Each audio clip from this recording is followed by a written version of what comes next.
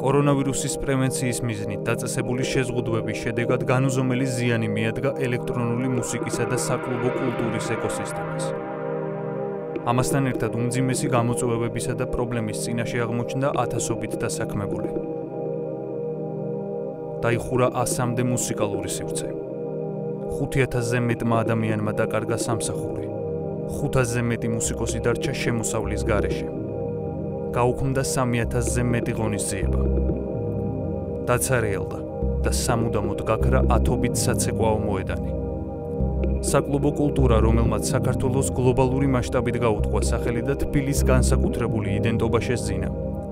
დღეს კრიზისის წინაშე სრულიად მარტოა დარჩენილი და განადგურების საფრთხის თავიდან ასაცილებლად თქვენს მხარდაჭერას საჭიროებს. გადაარჩინეთ თბილისის საკლუბო სცენა.